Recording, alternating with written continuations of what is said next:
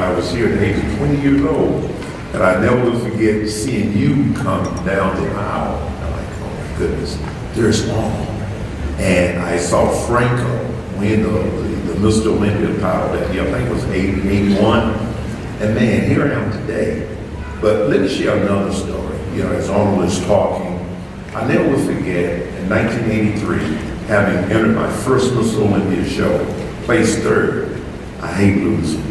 I don't like to lose. That won the NPC National the first time, the IFBB World Championship the first time around, win the Olympia, well, Olympia the third time around. Man, I just don't like losing. You know, third place wasn't bad for a youngster. And I never forget the after party at Albert Busek's gym. I'm sitting in the back eating early. I'm licking my wounds, feeling sorry for myself. And Shirley's consoling me as I'm sitting there with my head dropped. It wasn't that bad, guys, I'm kidding. And lo and behold, Arnold comes over. I'm 23, 23 years old at the time. And he says to me, Lee, you look great on stage. You have a fantastic physique. He said, but you have to do something about that pose.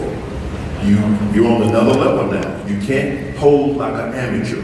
So, when we get back to California, I'm going to introduce you to my posing coach.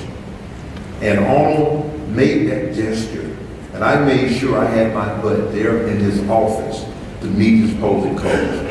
And I think, and I talk about that now, I think now that what Arnold was also doing was testing me to see if I had it here, to see if I had it here. Was I going to follow through and humbly accept the advice that he was giving me or the help? But I made sure I was there because he said, Lee, once you get it down, it's sure your posing routine, you'll be Mr. Olympia.